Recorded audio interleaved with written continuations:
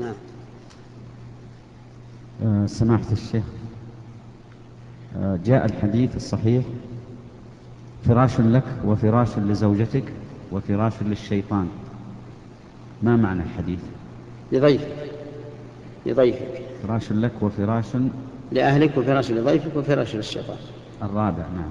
المعنى أن الرسول عليه الصلاة والسلام يحذر من الإسراف واتخاذ أكثر من اللازم ولا سيما في زمن كزمان الرسول عليه الصلاة والسلام.